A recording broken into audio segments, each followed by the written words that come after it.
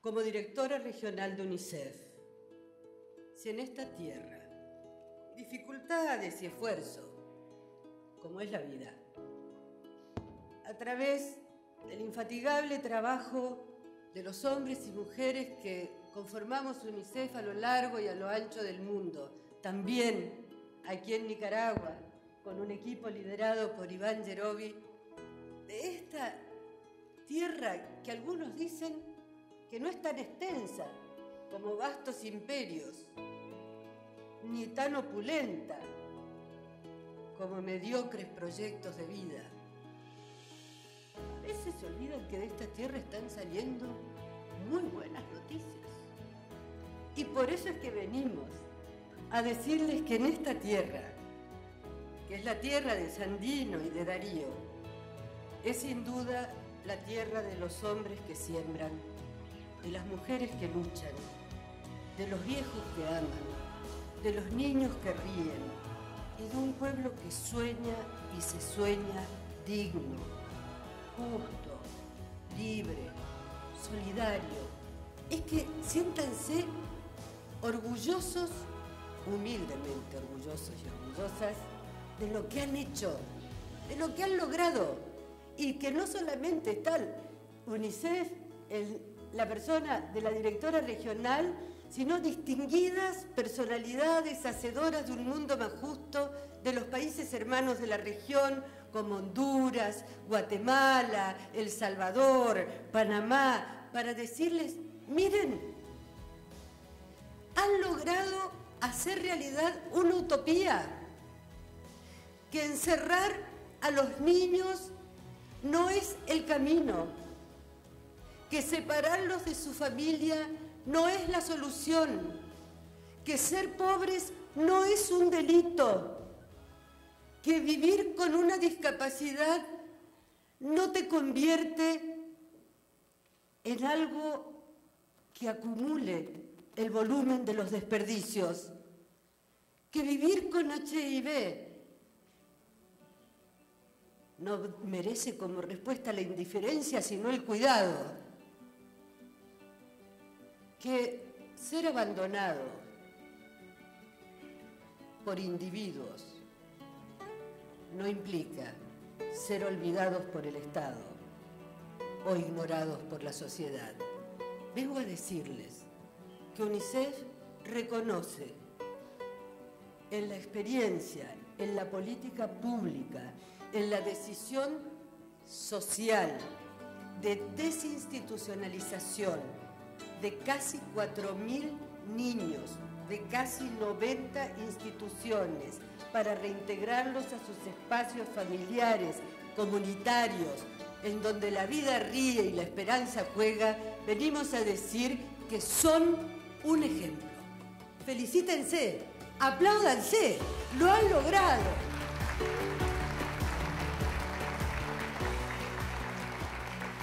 Y digo esto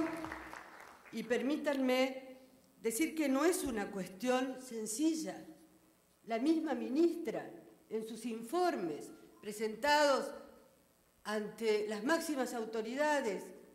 al señor presidente comandante Ortega, al cuerpo de gabinete de ministros y sobre todo ante el pueblo soberano, dijo y reconoció que no se hizo todo por magia. Construir dignidad,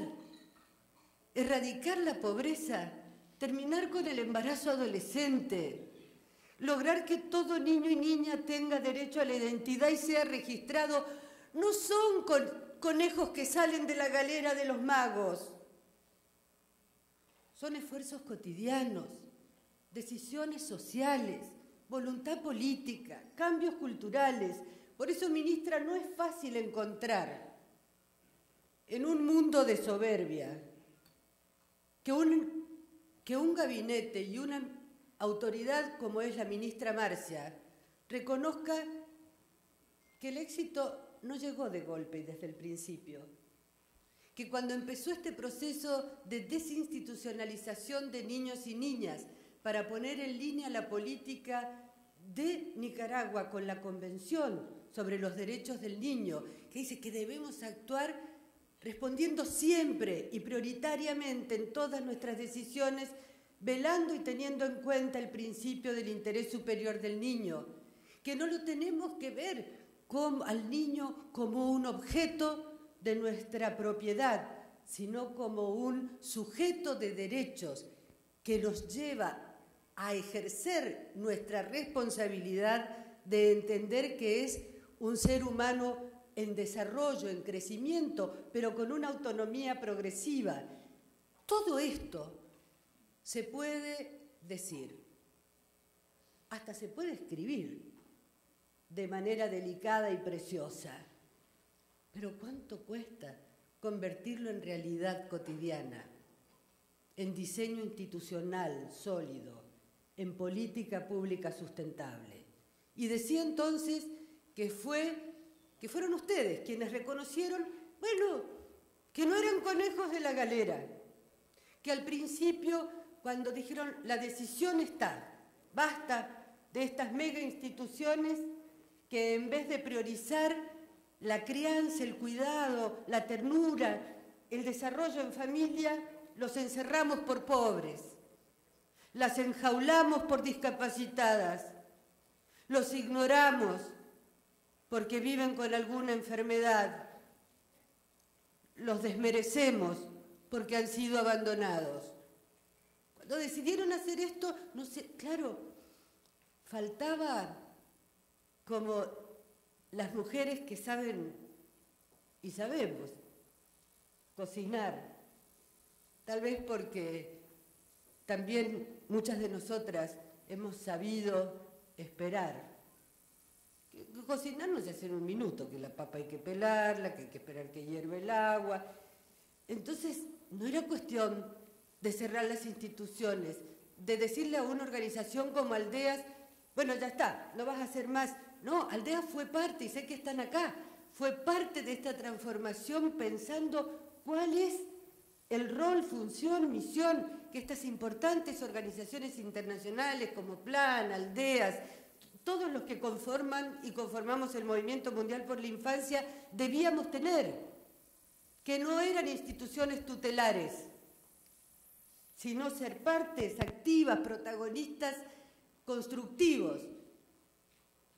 de políticas de protección integral de niños, niñas y niñas que suponen políticas de protección especial.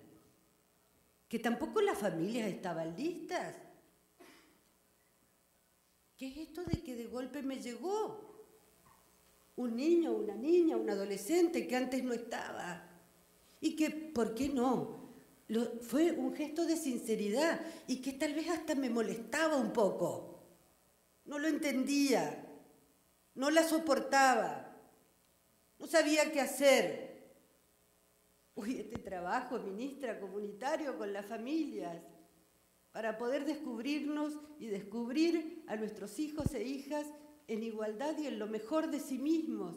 de aprender a construir el sentido del querer. Vaya si fue trabajo. Y para esos chicos que salían, para esos niños y niñas, en el primer momento era como que era un paso para adelante y tres pasos para atrás. Estaba bien salir, pero había miedos, desconfianzas, rechazos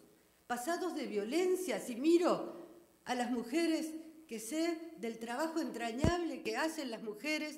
de la Policía Nacional y en su trabajo codo a codo con la comunidad, que no era cuestión de que un niño, un una niña viviendo en la calle, el, el único atajo que tuviera por discriminación, por miedo, era el callejón sin salida del delito. Todo esto es lo que ustedes se animaron a decir que pasa cuando algunos pretenden que los cambios institucionales y las políticas públicas sean conejos que salen de la galera y no construcciones colectivas que salen del corazón de los pueblos. Yo realmente voy a decirles que necesitamos de estas experiencias. Necesitamos mejorarlas, obviamente, 700 es menos y es mucho. Es un niño, es una niña con derecho a tener sueños. Pero quiero terminar diciéndoles que, miren, si esto fuera una burbuja, tal vez sería más cómodo, tal vez, pero no sería realista. Mientras venimos a reconocer, y estoy con José Bergua, nuestro asesor regional de protección, eh, ¿y por qué digo? Porque recién hablaba con la ministra que queremos con UNICEF como un solo equipo poder sistematizar con estándares internacionales que usamos para las evaluaciones esta experiencia de desinstitucionalización para ponerla generosamente en el mundo del aprender en otros países, regiones del mundo, gobiernos. Entonces, les decía que reconocer es agradecer, porque ni conejos de la galera, ni éxitos fáciles, pero además en un mundo difícil. Entonces, lo llevo a esta imagen porque sé que ustedes hacen la celebración de la vida. Yo pido que esto que han parido, que es sacar a los niños de la jaula del encierro, para abrazarlos en las familias y en la comunidad, sea no solamente un abrazo en Nicaragua, sino la posibilidad de que sea un contagio fabuloso, estremecedor, utópico para otros.